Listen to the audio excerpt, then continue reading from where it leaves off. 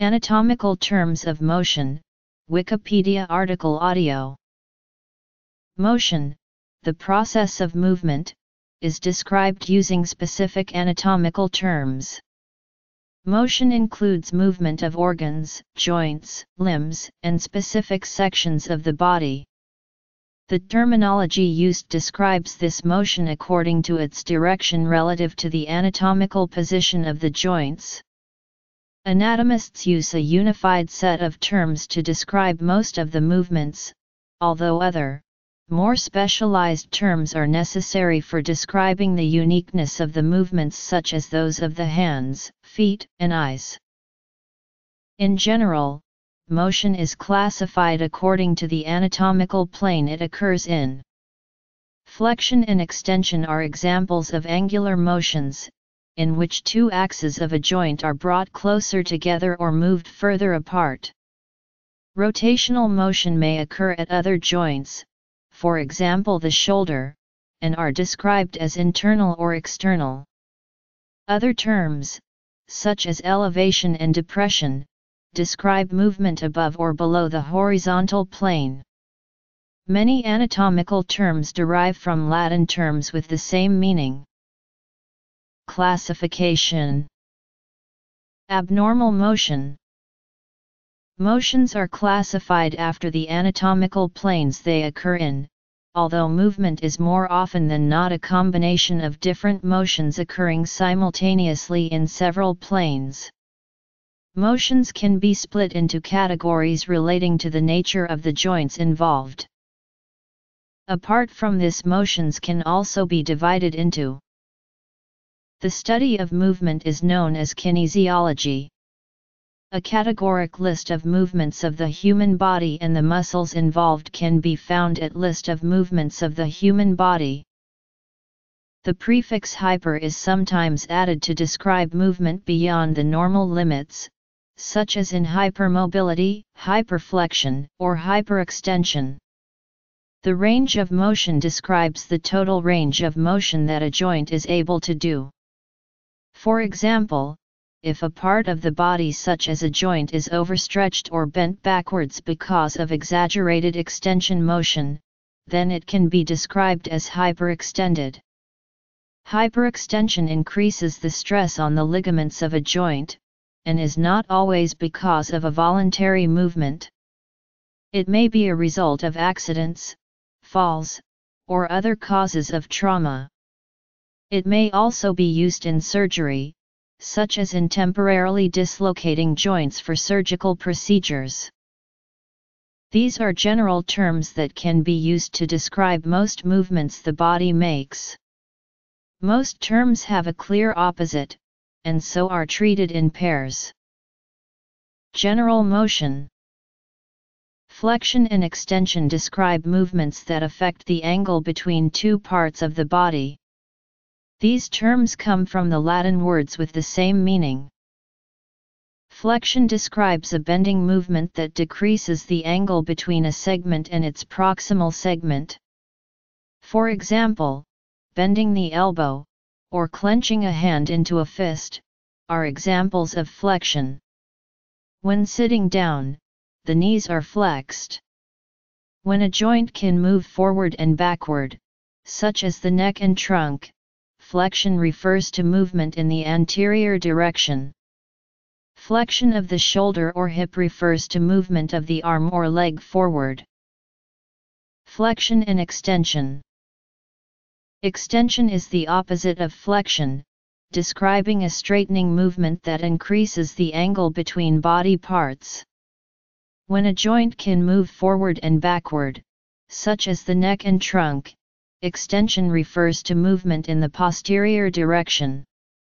For example, when standing up, the knees are extended.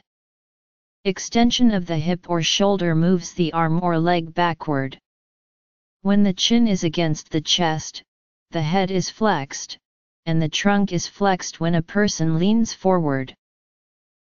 Abduction is the motion of a structure away from the midline while adduction refer to motion towards the center of the body. The center of the body is defined as the mid-sagittal plane.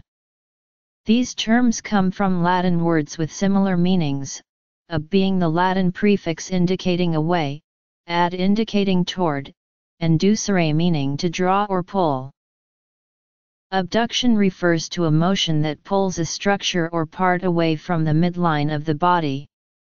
In the case of fingers and toes, it refers to spreading the digits apart, away from the center line of the hand or foot.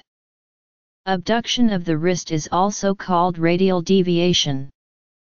For example, raising the arms up, such as when tightrope walking, is an example of abduction at the shoulder. When the legs are splayed at the hip, such as when doing a star jump or doing a split, the legs are abducted at the hip. Abduction and adduction Adduction refers to a motion that pulls a structure or part toward the midline of the body, or towards the midline of a limb. In the case of fingers and toes, it refers to bringing the digits together, towards the center line of the hand or foot. Adduction of the wrist is also called ulnar deviation. Dropping the arms to the sides, and bringing the knees together, are examples of adduction. Elevation and depression. Ulnar deviation is the hand moving towards the ulnar styloid. Radial deviation is the hand moving towards the radial styloid. Rotation the terms elevation and depression refer to movement above and below the horizontal. They derive from the Latin terms with similar meanings. Elevation refers to movement in a superior direction. For example, shrugging is an example of elevation of the scapula. Other Depression refers to movement in an inferior direction, the opposite of elevation. Rotation of body parts is referred to as internal or external, referring to rotation towards or away from the center of the body. Internal rotation refers to rotation towards the axis of the body. External rotation refers to rotation away from the center of the body. The lotus position of yoga, demonstrating external rotation of the leg at the hip. Special motion Rotating the arm away from the body is external rotation. Hands and feet Rotating the arm closer to the body is internal rotation.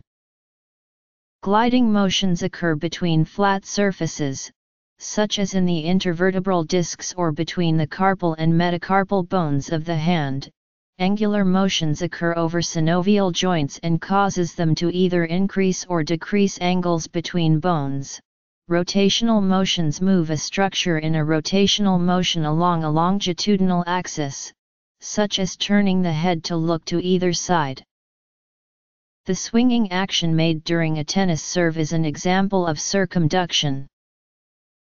Dorsiflexion and plantar flexion refer to extension or flexion of the foot at the ankle. These terms refer to flexion between the foot and the body's dorsal surface, considered the front of the leg, and flexion between the foot and the body's plantar surface, considered the back of the leg. These terms are used to resolve confusion, as technically extension of the joint refers to dorsiflexion, which could be considered counterintuitive as the motion reduces the angle between the foot and the leg. Linear motions, which move in a line between two points. Rectilinear motion is motion in a straight line between two points, whereas curvilinear motion is motion following a curved path. Angular motions occur when an object is around another object increasing or decreasing the angle the different parts of the object do not move the same distance. Examples include a movement of the knee, where the lower leg changes angle compared to the femur, or movements of the ankle. Dorsiflexion where the toes are brought closer to the shin. This decreases the angle between the dorsum of the foot and the leg. For example, when walking on the heels the ankle is described as being in dorsiflexion. Flexion and extension of the foot. Flexion and extension of the hand. Pronation and supination. Inversion and eversion. Plantar flexion is the movement which decreases the angle between the sole of the foot and the back of the leg. For example, the movement when depressing a car pedal or standing on the tiptoes can be described as plantar flexion. Eversion is an eye movement involving both eyes moving synchronously and symmetrically in the same direction. Torsion refers to eye movement that affects the vertical axis of the eye, such as the movement made when looking into the nose. A ballerina, demonstrating plantar flexion of the feet. Dorsi and plantar flexion of the foot. Palmar flexion and dorsiflexion refer to movement of the flexion or extension of the hand at the wrist. These terms refer to flexion between the hand and the body's dorsal surface, which in anatomical position is considered the back of the arm, and flexion between the hand and the body's palmar surface, which in anatomical position is considered the anterior side of the arm. The direction of terms are opposite to those in the foot because of embryological rotation of the limbs in opposite directions. Nutation and counternutation refer to movement of the sacrum defined by the rotation of the promontory downwards and anteriorly, as with lumbar extension, or upwards and posteriorly, as with lumbar flexion. Opposition refers to the movement that involves grasping of the thumb and fingers. Protraction and retraction refer to an anterior or posterior movement, such as of the arm at the shoulders, although these terms have been criticized as nonspecific, reciprocal motion refers to alternating motions in opposing directions, reposition refers to restoring an object to its natural condition. Palmar flexion refers to decreasing the angle between the palm and the anterior forearm. Dorsiflexion refers to extension at the ankle or wrist joint. This brings the hand closer to the dorsum of the body. Praying Hands by Albrecht Dürer, demonstrating dorsiflexion of the hands. Eyes.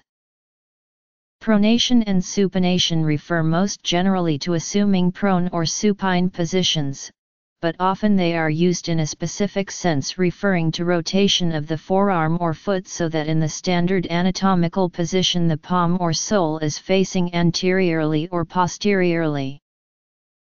Pronation at the forearm is a rotational movement where the hand and upper arm are turned inwards. Pronation of the foot refers to turning of the sole outwards, so that weight is borne on the medial part of the foot. Supination of the forearm occurs when the forearm or palm are rotated outwards. Supination of the foot refers to turning of the sole of the foot inwards, shifting weight to the lateral edge. Jaw and teeth. Other two. Supination and pronation of the foot. Supination and pronation of the arm. Inversion and eversion refer to movements that tilt the sole of the foot away from or towards the midline of the body. Eversion is the movement of the sole of the foot away from the median plane. Inversion is the movement of the sole towards the median plane. For example, inversion describes the motion when an ankle is twisted. Example showing inversion and eversion of the foot. Notes. Eversion of the right foot. Inversion of the right foot. Unique terminology is also used to describe the eye. For example Examples showing protrusion and retrusion. Elevation and depression of the jaw. Other terms include Nutation at left, counternutation at right an example of opposition. Example of opposition of the thumb and index finger. Sources